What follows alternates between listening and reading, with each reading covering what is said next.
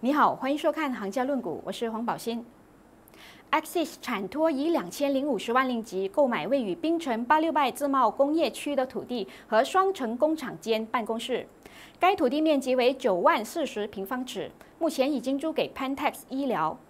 Axis 产托在一周内第二次出手收购资产，一旦完成收购，该公司拥有的资产将增加到四十七项。